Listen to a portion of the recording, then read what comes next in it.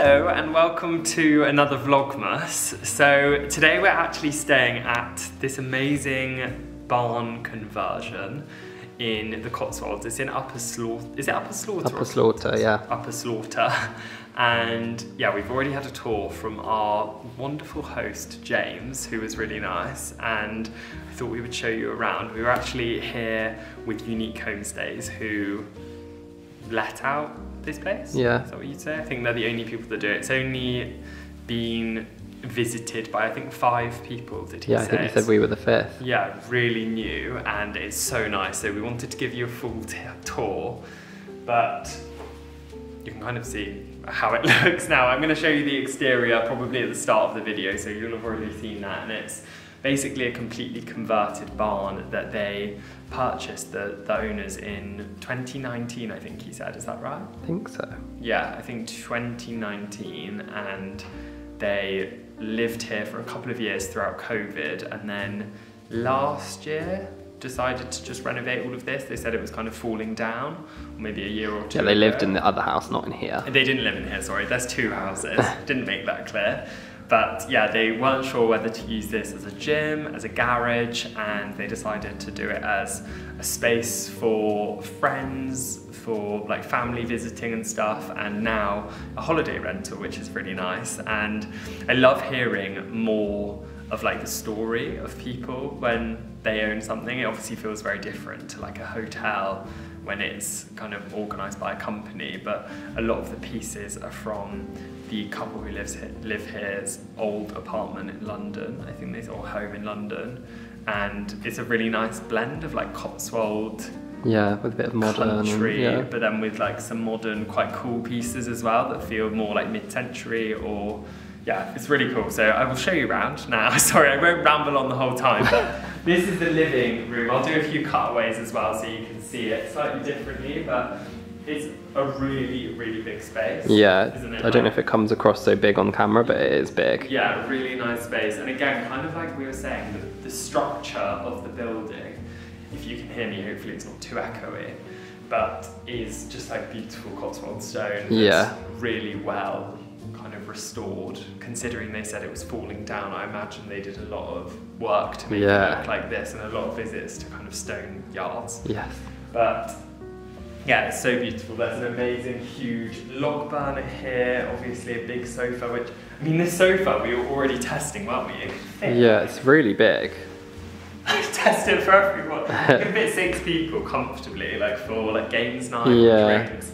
There's a couple of armchairs. I love this chair. Mikey's not so keen. It's very me. comfy. The chair in the corner I really love. I think that's just really cool. I know it's not really a style that you'd imagine from me. I think a lot of Yeah. people, but yeah, I really love it. And then on the other side of the room, let me just actually put it down again, but uh, I'll show you it up and then I'll put it Yeah. down. But there's this unit which is painted. It's almost like kind of like, like greeny, like yeah. or like olive yellowy colour, and the TV. You can see it comes in and Very bougie. Yeah, which is very Love cool. that. Such a nice way of like hiding your things. Not that you have meant anything other than a TV in there, but yeah, really lovely. And we haven't actually watched anything yet because we had a really chilled evening last night. But I will put up a couple of vlogs, probably tomorrow and the next day, where we show you how we're spending our time in the Cotswolds, going to lots of nice shops and restaurants and stuff. But yeah, let's carry on. This obviously the table in the kind of entrance. If you step back a bit, you can probably see it a lot better. But it is very again like the kind of like Daylesford Yeah, like rustic. rustic. I know that's such a dirty word in interiors, rustic, but it is. It literally is yeah, rustic. it's like an antique. I would imagine, unless it's Yeah.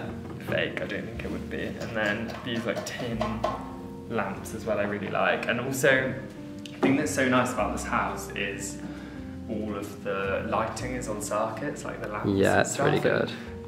I would love to do that at home. But that would be so difficult for us because I have to move things quite Yeah. a lot work. So it would be very annoying to be like moving lamps around. But if you're renovating and you're looking to add quite a luxury touch, I would definitely recommend kind of having all of your lights on a Mm, circuit definitely. because there's a switch over there. I'll do a little cutaway so you can see, but it has kind of laminated cards to show to do the mezzanine lights or the living room lights or different areas, which I think is really nice. Yeah. And the other kind of side, that's the living area, which is lovely. And then you have these kind of big, the big wall of Crittall doors. Above is the mezzanine, which we'll get to in a second. But down here, there's these large kind of industrial Crittall doors, which again, we all know is a very nice complement to like old stone. That's like done a lot in design. But it also goes really well, I think, with this concrete floor Yeah, it's nice. which is really nice. That's kind of the guy said they were going to use this as a garage, but by the time they'd laid the concrete floor, they just thought it seems silly to waste. Don't want to drive all your cars all over it. Yeah, you don't want to ruin a really nice polished concrete because it actually is very expensive to do that. But yeah, so here's the bedroom. So these doors both open up. Shall I shut this one? so you can There I am. through. yeah, here's the bedroom.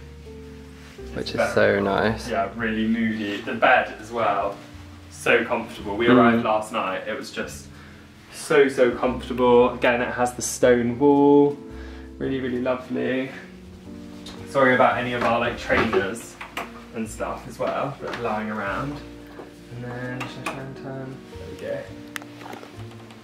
Ignore some of our toiletries, but here is the bathroom.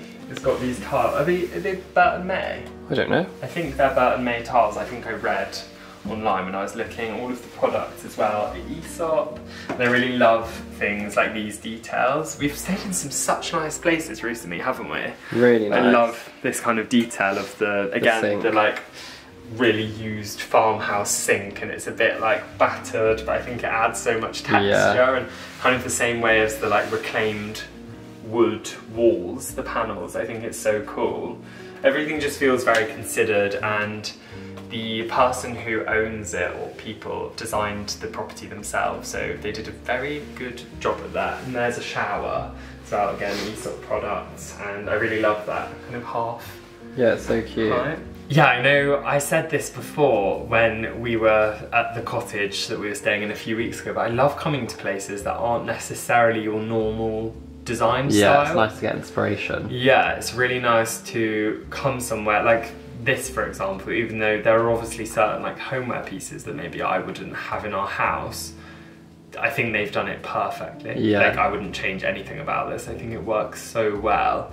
And it gives you so many ideas for your house as well, coming to like luxury staycations. Yeah. Like the wood in here, for example, I would absolutely do this. And I, I would never Yeah, have it's so nice because it's like so rough textured. and, also the warmth of it it adds Mm. such a warmth to the rest of the room Yeah. and It feels like perfect for a barn. yeah so nice and yeah we've said already before obviously a barn is something we actually would really be open to so yeah and the Crittall as well the log burner did i talk about the log burner i think so Uh, but I think so. it looks literally amazing Get some cut You can see it through there. It just looks so pretty. yeah so nice Yeah. oh and the christmas tree i've obviously got a christmas tree which is so nice And then And then there's some stairs up here. Sorry, it's a bit dark in this part, but that again is old properties for you. yeah, we know it.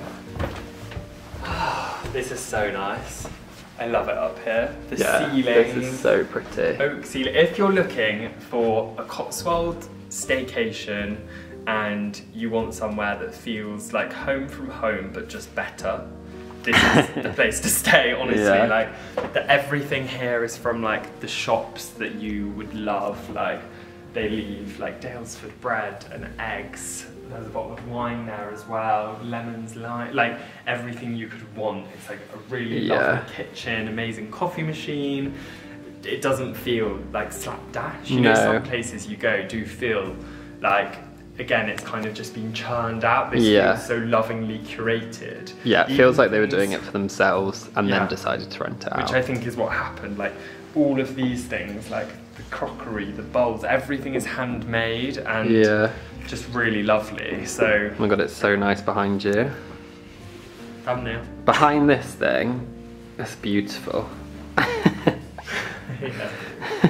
But yeah, like the ceilings as well, the oak ceilings, and then these Yeah, it's so cool. lights.